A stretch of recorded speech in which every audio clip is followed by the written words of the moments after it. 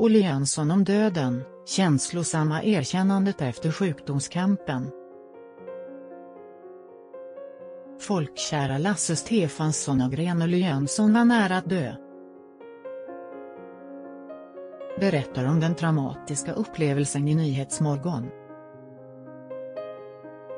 Jag var över och tittade på andra sidan, säger han till TV4. Olle Jönsson, 68, är frontman för det folkkära dansbandet Lasse Stefans. Med sig i bandet har han gitarristen Christer Eriksson, 72, och trummisen Gunnar Nilsson, 59. Bandet har varit aktiva hela 57 år och under våren deltog de i Melodifestivalen och i dagsläget verkar det inte finnas några planer på att sakta ner. Exempelvis har gruppen varit ute på turné under sommaren och till hösten har de ett fullspäckat schema med en stor mängd spelningar. Olle Jönssons stora problem med hälsan. Men livet är inte helt lätt för frontmannen Olle Jönsson och frågan är om han kommer orka med det hektiska schemat. De senaste åren har stjärnan nämligen dragits med stora hälsoproblem. Utöver att typ 2-diabetes och familjär tremor, som leder till skakningar, har hon drabbats av både karpaltunnelsyndrom och fått en hjärtinfarkt.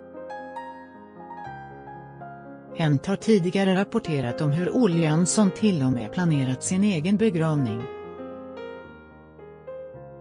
I Nyhetsmorgon berättar han om kampen med hälsan och om upplevelsen som fick honom att ändra sin syn på livet och framtiden.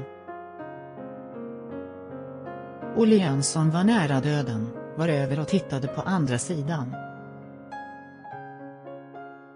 Vi ska inte vara djupa oss men jag var över och tittade på andra sidan och var nere i en puls på 37 slag och tyckte att det här är inte bra, men jag repade mig, säger han i intervjun med TV4. Så det var en nära döden upplevelse? Frågade programledaren Anders Bilblad. Han får medhåll av den populära artisten som därefter får frågan vad han för spår som den traumatiska upplevelsen har satt i honom. Att jag inte är rädd längre. Jag vet att ingen kommer levande härifrån så det är bara att gilla det, svarar Olle Jönsson. Han fortsätter.